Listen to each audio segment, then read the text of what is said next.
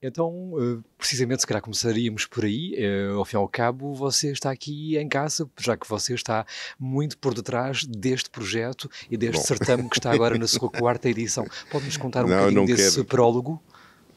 Não, não, isto realmente penso que tem alguma, se quiser, responsabilidade na existência do festival, porque tive duas vezes em, com, num espaço de de, de 15 anos a ideia de que Macau precisava de um festival desses, mas pronto, Macau depois agora o festival é o que é e, e eu venho cá como convidado para apresentar, se quiser, um filme de que muito me orgulho, que é Herdade, e, e pelo menos a única coisa que me congratula é que realmente Macau tenha o seu festival e que só espero que tenha a máxima, uh, realmente, o máximo êxito e o que é que eh, acha da aposta que foi a deles de privilegiarem primeiras e segundas longas metragens? Acha que é uma aposta interessante, discutível? Já na altura, quando eu tinha pensado num projeto para Macau, tinha sido isso, quer dizer, sobretudo uma grande atenção ao cinema asiático e depois haver eh, também criar, se quiser, uma, uma identidade própria, ela que poderia passar por as primeiras segundas obras, por grandes galas, tudo isso, portanto, penso que é uma, uma acho que é uma ideia uh, extremamente conseguida e, e, só espero que eles tenham sorte e que o festival se empenhe pouco a pouco.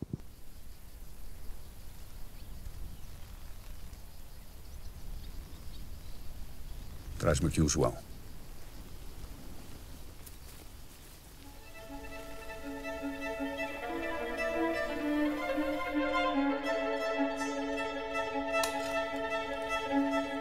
Tão habituado a ter tudo o que quer como quer. O mundo existe para o servir. O seu mundo. O seu reino.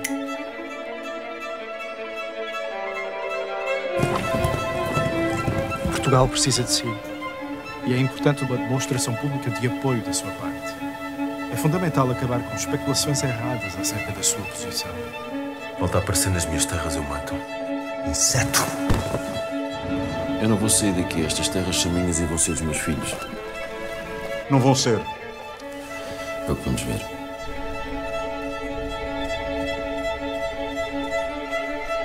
Já que ninguém quer fazer as honras, terá de ser o que par da contar.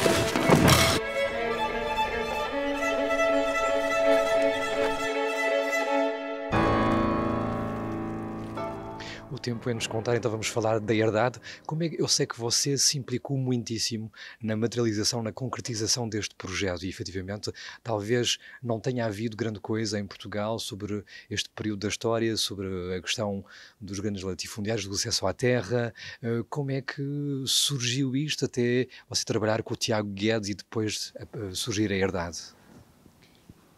Eu há anos que tinha, eu sentia a necessidade de de provocar, entre aspas, um, um, projetos de ficção que, de uma certa maneira, retratassem uh, este, esta passagem do, do tempo de, um, de, de, uma época que as pessoas que, bom, muitas uh, ainda viveram essa época, mas que muitas não a conhecem, que era como é que se vivia numa grande parte da sociedade na antes da, da Revolução, e neste caso nos anos 40 e, e, depois no princípio dos anos 70, o que é que a Revolução veio trazer e quais foram realmente, uh, o, uh, se quiser, as consequências da Revolução em determinados uh, meios sociais, neste caso, aqueles que se pode chamar como os perdedores da Revolução. No fundo, como sabe, a maior parte deles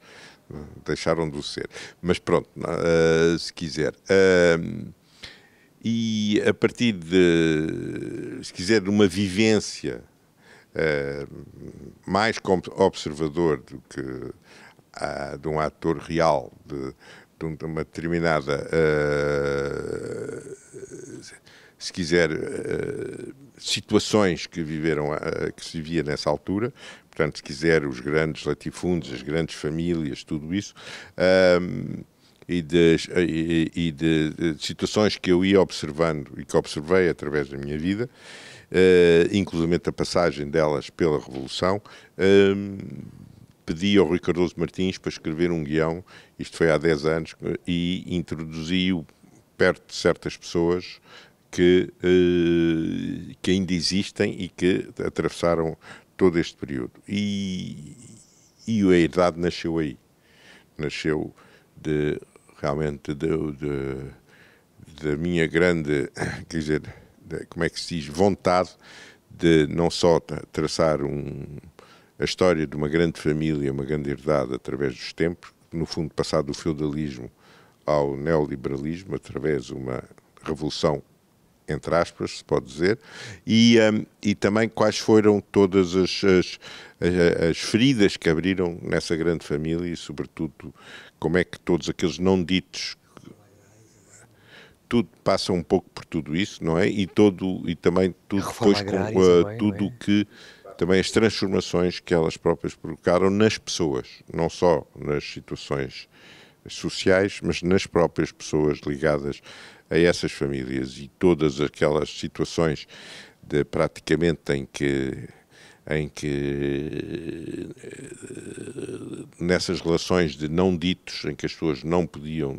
realmente uh, nos tempos antigos quer dizer uh, as mulheres não podiam de maneira nenhuma afirmar a sua a sua qualidade seriam eram sempre pessoas como se diz entre aspas uh, que estavam ao serviço de alguém, os filhos também que tinham o poder paternal que era exercido de uma maneira muito diferente do que é agora, e, eh, e tudo isso, como isso explodiu através das revoluções, e foi isso que acho que o, o, o Rui começou com o meu apoio e depois o que o Tiago também conseguiu, acho que é, transforma este filme num filme muito particular para mim, porque Personagens uh, muito fortes, João Fernandes, nomeadamente, não é? Sim, sobretudo personagens muito, muito naqueles grandes filmes melodramáticos americanos, personagens bigger than life, elas próprias têm um poder de sessão uh, extraordinário e ao mesmo tempo um poder de distribuição também, e é isso, isso são personagens extremamente cinematográficas e era isso que me interessava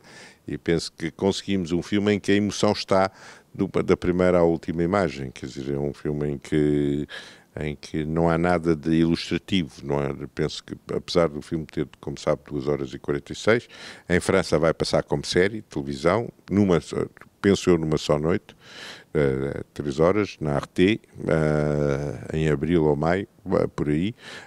Um, é um filme em que a emoção está lá, penso, da primeira à última imagem, e isso que era que, que, que eu pretendia.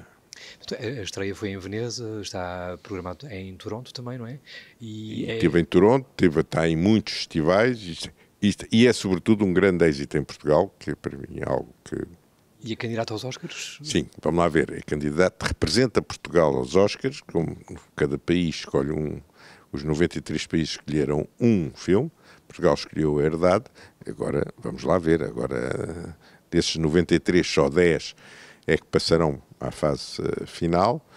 São, são em 16 de dezembro, mas isso era, já é uma, já é uma lotaria, isso não, não sei se, se vai nos sair ou não, porque como sabe, uh, nessa situação dos Oscars há os lobbies uh, que existem nos Estados Unidos, determinadas comunidades, são muito fortes. E, por exemplo, há sempre um filme italiano, um filme de origem chinesa, um filme. Portanto, depende um pouco de, dos lobbies. E nós, infelizmente, não temos ainda um lobby forte na comunidade lusófona. Portanto, uh, por exemplo, há sempre um filme em língua espanhola, sempre, é? seja ele qual for, e, portanto, neste momento, uh, não sei quais são as nossas chances, veremos. E esta sua estreia aqui em Macau, que sabor é que tem para si, então? Sabe, para mim foi importante vir a Macau por duas coisas, razão. Uma, porque há aqui uma diáspora portuguesa eh, que é, e acho que será talvez a única oportunidade que tem assim a curto termo de ver o, ver o filme. Depois, logicamente, há plataformas em que o filme de certeza passará. Uh, mas vê-lo assim em grande ecrã, penso que é a única oportunidade. E, e, e, era nesse sentido que dei alguma atenção à passagem do filme aqui. O Tiago não podia vir porque neste momento está em, em Havana e vai para Washington. Portanto, eu disse: Eu vou a Macau Por outro lado, também tinha curiosidade de ver o que é que o festival, em que é que se tinha transformado, virem logo ver. E, e, e, portanto, aqui estou, porque penso que é um filme que pode uh, interessar as pessoas que vivem cá, que podem dar uma imagem que por vezes, uh, sobretudo quem vive no estrangeiro, não tem do que se passou naquele, todo aquele período. E, um, e, acho que no filme nisso, o que é uma das coisas que a mim me agradam muito, é que não houve até agora uma única, uh, como é que se diz, crítica a toda a maneira como o filme aborda a parte histórica. Quer dizer, a esse nível eu tive muito cuidado de, que tudo fosse uma verossimilhança absoluta e que ninguém, qualquer, qualquer historiador, e felizmente foi por a eles que eu comecei a mostrar o filme, me disseram, Paulo, isto é uh, absolutamente justo, sejam qual seja a tendência, uh, se quiser, ideológica que eles têm, não houve nenhuma crítica relativamente a essa parte. E, portanto, já aí as pessoas podem descobrir, talvez, uh, através de uma ficção, mas também uma relação à história de, desse período em Portugal, que, que, lhes pode trazer mais alguma, mais alguma informação.